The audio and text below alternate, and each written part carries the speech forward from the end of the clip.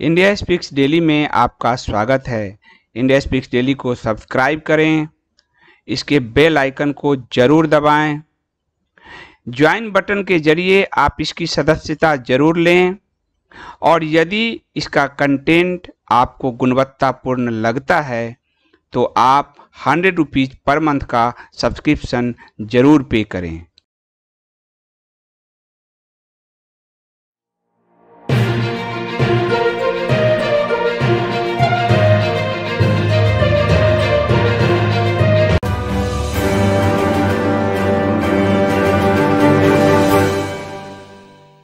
नमस्कार।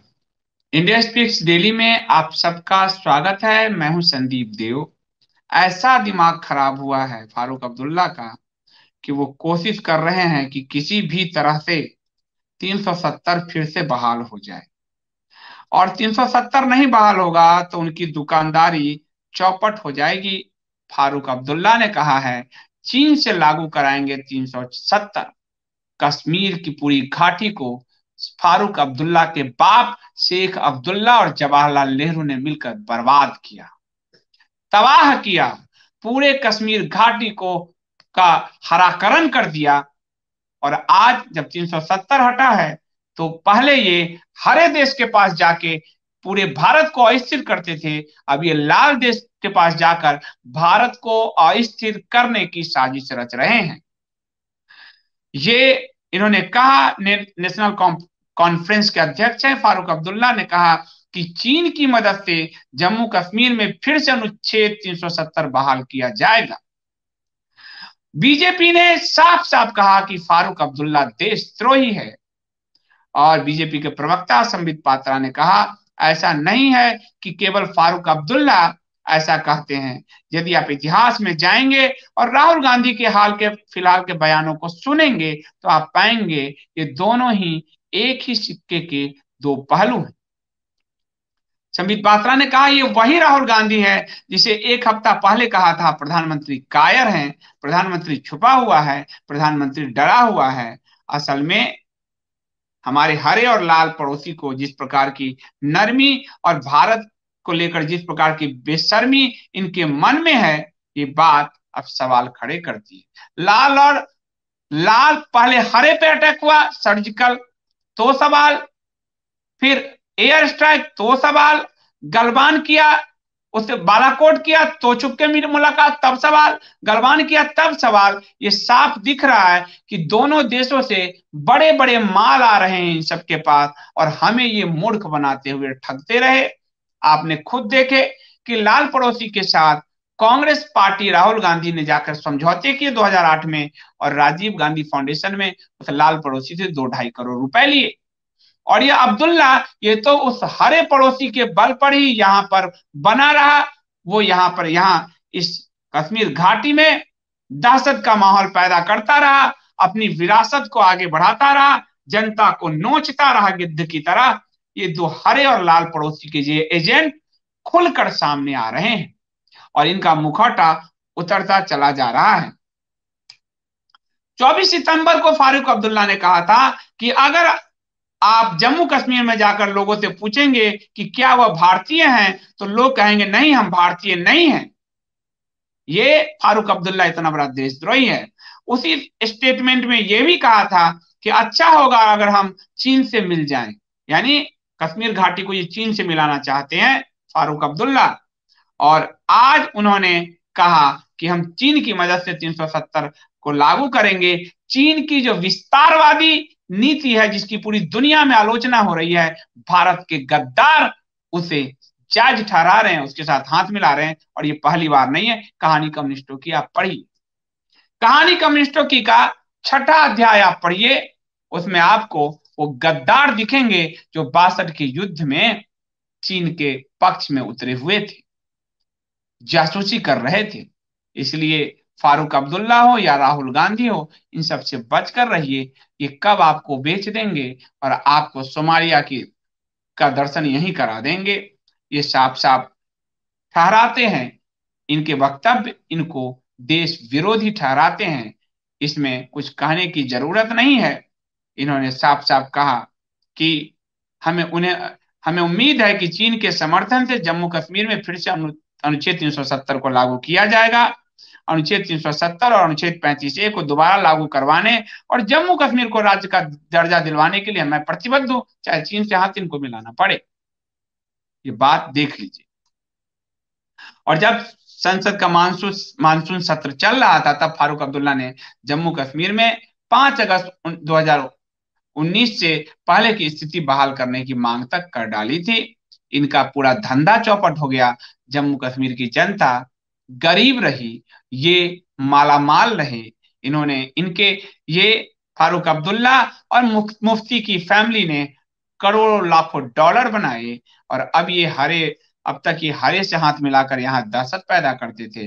अब ये लाल को मिलाकर दहशत गर्दी करना चाहते हैं, वो वहाँ मिलना चाहते हैं। फारूक अब्दुल्ला को पता होना चाहिए कि लाल देश में इनके हरे हरे का क्या हरा हाल कर रखा है उसने? ये बात इन्हें समझ में आना चाहिए। ये समझ में नहीं आएगा क्योंकि ये भारत विरोधी है। इनका खानदान ही भारत विरोधी है, इसलिए इनको ये बात समझ में नहीं आएगा।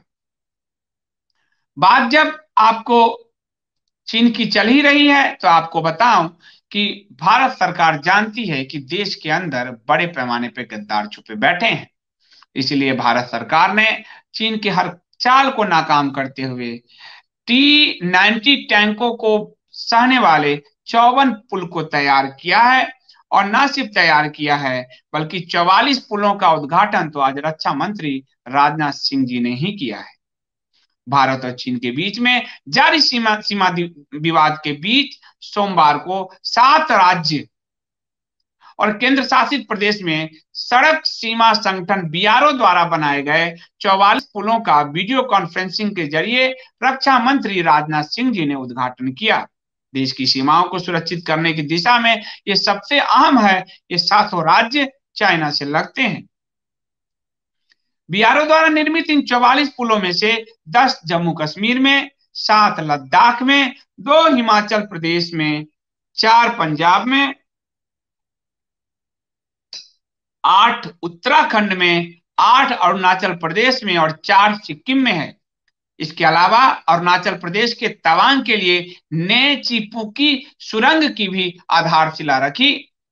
मोदी सरकार वहाँ पर इंफ्रास्ट्रक्चर को कैसे विकसित कर रही है, कितनी तेज़ी से विकसित कर रही है, ये आपको पता चलेगा। रक्षा मंत्री ने कहा कि अब हमारे उत्तरी और पूर्वी सीमाओं पर बनाई गई स्थिति से हम सब पूरी तरह से परिचित हो चुके हैं। पहले उन्होंने हरे पड़ोसी का नाम लिया और अब लाल पड़ोसी का नाम लिया और कहा, ऐसा लगता है कि एक मिशन के तहत सीमा विवाद बनाए रखे गए हैं। मिशन कौन नेहरू जी और नेहरू खानदान प्लस हरा और लाल मिलाकर एक सीमा विवाद बनाया गया ताकि भारत हमेशा अस्थिर रहे और इनका खानदान माल कूटता रहे रक्षा मंत्री जी ने नहीं कहा, मैं कह रहा हूँ। इन इन देशों के साथ, लाल और हरे के साथ, हमारी सात हज़ार किलोमीटर लंबी सीमा है, रक्षा मंत्री कह रहे हैं। और प्रधानमंत्री मोदी के दूरअंदेश नेतृत्व के अंतर्गत, भारत इन संकटों का न केवल मजबूती से सामना कर रहा है, बल्कि इन सभी क्षेत्रों में बड़े और ऐतिहासिक बदलाव भी ला रहा है। उन्होंने कहा, इन पुलों के निर्माण से हमारे पश्चिमी, उत्तरी और उत्तर पूर्वी क्षेत्रों में सैन्य और नागरिक परिवहन की सुविधा बढ़ेगी। हमारे सशस्त्र बल के कर्मी उन इलाकों में बड़ी संख्या में तैनात हैं, जहाँ साल भर परिवहन की व्यवस्था नहीं होती। और परिवहन आपको कहेंगे कि क्या बोल रहे हो? तो कारगिल से हमारे सैनिक उतर जाते थे इस ठंड में, तभी तो हरे ने कब्जा किया था। इसलिए उसको मज़बूत करना कितना महत्वपूर्ण आपको कारगिल से समझ में आएगा। इन पुलों का निर्माण इस क्षेत्र में आम लोगों के साथ साथ सेना के लिए भी फ़ायदेमंद रहेगा। और ये जो है, बहुत बड़ा फैसला है। और ये सब, सभी चौवालीस पुल रणनीतिक तौर पर बहुत ही अहम इलाके में है। इससे सैनिक अपने साजो सामान हथियार को आवाजाही करने में उनको बहुत सुविधा होगी, इसमें सैन्य बल को मदद मिलेगी। सात पुल तो सीधे लद्दाख में ही है इसमें। और इसमें जो है, आप जितने भी अस्थायी पुल थे, उनको अस्थायी बना दिया गया। पहले अस्थायी पुल थे ये सब। और तीन गुना से अधिक क्षमता से बिया जो है आपको सीमा सड़क संगठन ने इस पर काम किया है, इसको विकास किया है। चीन की सीमा के पास चौवालीस में से 22 पुल तो चीन की सीमा पर हैं। इस जो है, करीब नदी नालों, ये पूरे नदी नालों के आसपास जो है, उस पर बनाया गया है और चीन की सीमा के पास 22 पुल ऐसे हैं, जो केवल चीन की सीमा पर है। इसमें से एक हिमाचल प्रदेश के दारचा में तैयार किया गया है, जिसकी लंबाई 300 मीटर है। तो ये बहुत बड़ा फैसला है। इसके बाद बात यह है कि टी नाइनटी टैंकों तक के भार को वहन कर सकते हैं ये पुल, यानी टैंकों की आवाजाही, तोपों की आवाजाही, ये सब पहले नहीं हो सकते थे, पुल नहीं थे, अस्थायी थे, इन पुलों से ये आवाजाही हो सकते हैं। ये चवालीस पुल B R O B R O द्वारा बनाए जा रहे 102 पुलों में से ही हैं। इससे पहले 10 पुलों की शुरुआत हो चुकी थी। तो 44 और 10 चौवन पुल बनकर तैयार हो चुके हैं सैन्य क्षमता को मज़बूत करने के लिए। टी नाइनटी टैंक तक अब इसमें आसानी से ले जाए जा सकेंगे। कनेक्टिविटी बहुत बढ़ेगी। आपको बताऊँ कि इससे हमारे लाल और हरे पड़ोसी और उसके जो ये पार्टनर्स हैं एजेंट्स हैं यहाँ, उनके अंदर बड़ी बेचैनी है।